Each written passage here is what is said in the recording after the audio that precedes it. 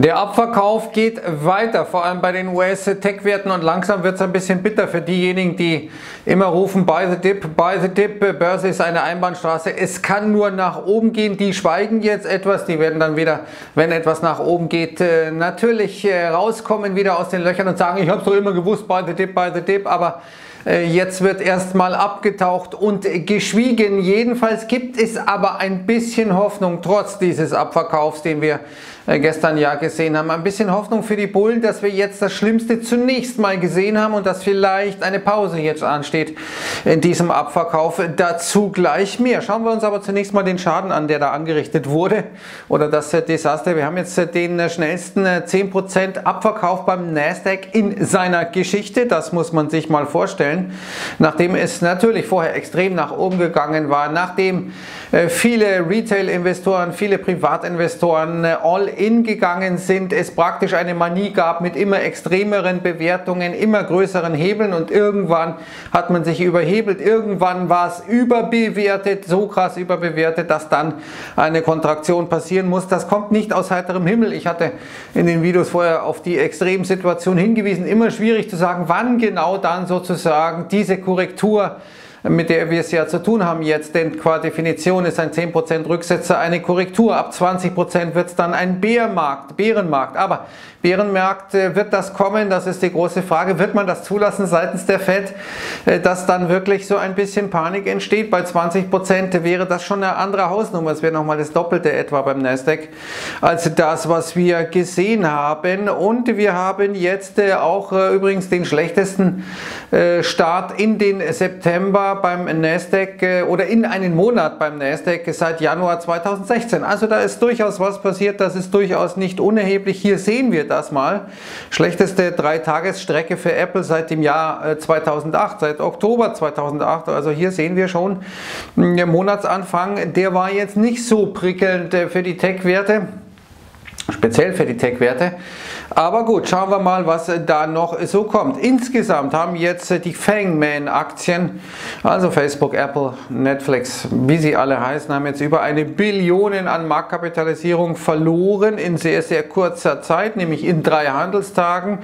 Das entspricht in etwa dem BIP von Indonesien. Also all das, was die Indonesier in einem Jahr an Gütern und Dienstleistungen produzieren, das ist sozusagen hier ausradiert worden. Es sind die Fang-Aktien, die doch durchaus jetzt ein bisschen auf die Mütze gekriegt haben. Wenn wir uns mal anschauen, dass das sozusagen nicht aus heiterem Himmel kommt, dann hat der Gesamtmarkt schon eine Warnung gegeben. Es gibt nach meiner Auffassung zwei Dinge, die diese Warnung besonders klar gemacht haben im Vorfeld, nämlich die Advanced Kleinlinie, also die Anzahl der Aktien, die steigen in Relation zu der die fallen und äh, es war nicht ein Anstieg des Gesamtmarktes, es war die Konzentration auf wenige Highflyer-Aktien, die die Gesamtmärkte nach oben getrieben haben. Der Gesamtmarkt ins, äh, insgesamt, der Gesamtmarkt insgesamt hatte schon äh, Schwäche gezeigt, äh, die kaschiert wurde durch diese großen Tech-Aktien, also Advanced Kleinlinie äh, war schon ein Hinweis, dieses Auseinanderdriften im Grunde seit Juli, dann besonders seit August. Interessant ja, dass im August vor allem die Insider, jene Firmen Insider verkauft gekauft haben, die eben ihre Geschäftsentwicklung am besten kennen. Aber es gab dann andere, die nochmal richtig Mitte draufgesprungen sind, vor allem auch bei so Aktien wie Tesla gestern 21% minus. Größter Verlust, den das Unternehmen mindestens seit dem Jahr 2012 hat. Über 80 Millionen an Marktkapitalisierung sind da vernichtet worden. Das entspricht etwa dem Börsenwert von äh, dem äh, ETF-Giganten BlackRock.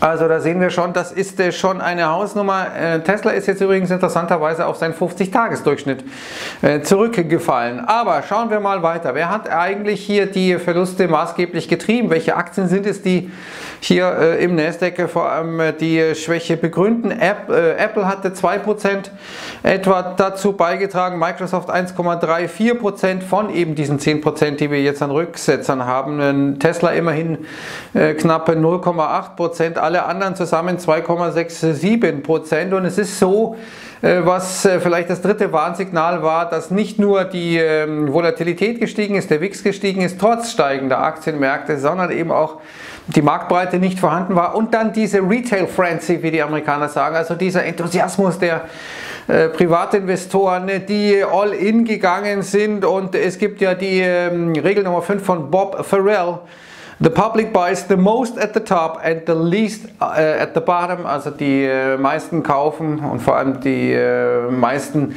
Privatinvestoren, die kaufen am meisten, wenn wir ganz oben sind und am wenigsten, wenn wir ganz unten sind. Ein bisschen anders war es diesmal schon, weil die Robin Hooder ja schon seit März sich investiert haben. Aber man hat eben gedacht, diese Einbahnstraße, die geht weiter. Stocks always go up, wie David, David Portnoy sagt. Dementsprechend sitzen jetzt manche natürlich auf Kaufpositionen, die am Top eingegangen wurden und haben nun Schmerzen. Wir sehen, dass insgesamt hier das Volumen deutlich gestiegen ist.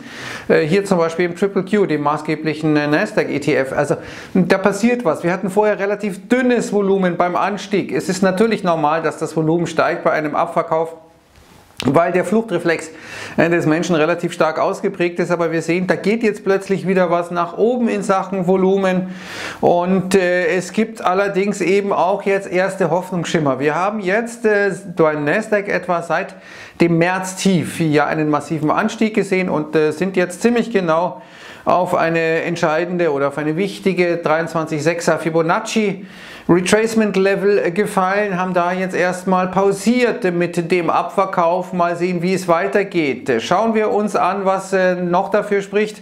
Wir haben jetzt die 50-Tageslinie im Nasdaq erreicht. Also auch das ist etwas, was ähm, normalerweise dann schon ein bisschen Unterstützung bietet, dass wir auf gleitende Durchschnitte kommen. Äh, wir waren ja diesen gleitenden Durchschnitten so massiv vorausgelaufen. Jetzt kommt man auf die ersten, auf die kürzer datierten äh, ähm, gleitenden Durchschnitte wieder ein bisschen zurück. Das könnte Unterstützung bieten und äh, vor allem, was Unterstützung bieten kann, trotz des Abverkaufs gestern haben wir gesehen, dass der WIX, die Wohlerwartung der S&P 500 Aktien in den nächsten 30 Tagen nicht mehr gestiegen ist.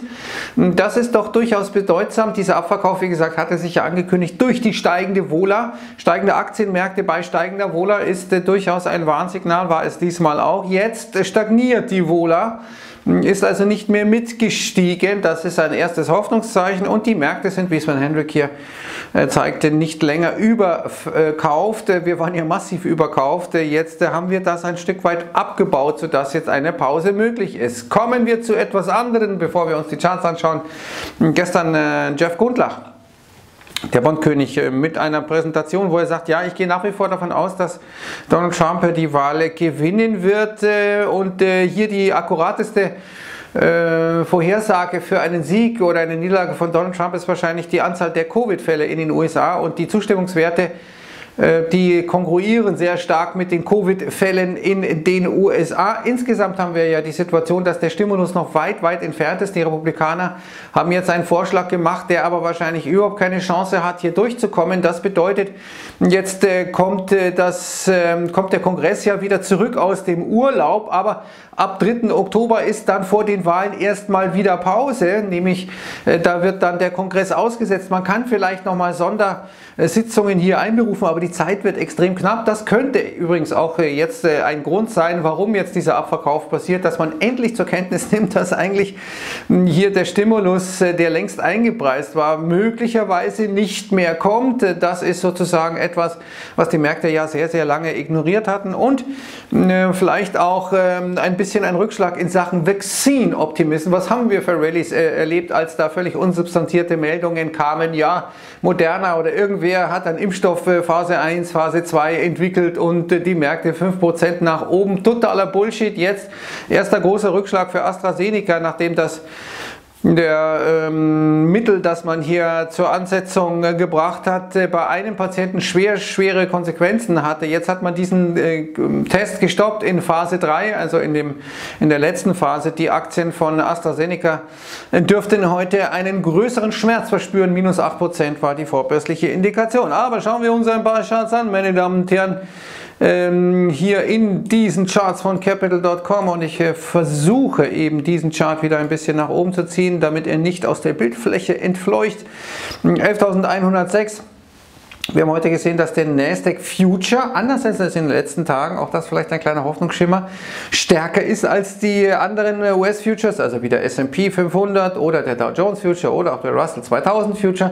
Also hier vielleicht die erste kleine Hoffnung äh, für die Bullen, dass da was passieren kann. Wir sind dann äh, durchaus freundlich gewesen im asiatischen Handel, was die US Futures betrifft, kontinuierlich nach oben, aber dann kurz vor europäischen Eröffnung wieder etwas nach unten. Also das wird ein wilder Ritt jetzt werden äh, für die Bullen. Das wird äh, jetzt eine schwierige Geschichte. Der Abverkauf, wenn er denn mal gestartet war, als Prozess einer Enthebelung hatte eine gewisse Logik. Die kann jetzt noch weitergehen, aber es wird jetzt sowohl für die Bullen als auch für die Bären nicht mehr so einfach, äh, hier die nächste Entwicklung zu prognostizieren. Dass äh, eine Enthebelung natürlich seine Zeit braucht, ist völlig klar. Schauen wir uns mal den DAX an, alles auf 4-Stunden-Basis. Der hält sich eigentlich seitwärts 12.920, hat sich deutlich besser gehalten jetzt äh, als ähm, eben vor allem die US-Märkte. Wir sehen, äh, dass äh, Gold hier auch wenig veranstaltet, 1925 eigentlich ziemlich fade und wir sehen auch den Euro-Dollar jetzt ähm, allerdings äh, schwächer bei 1,1770, also unter der 1,18er Marke.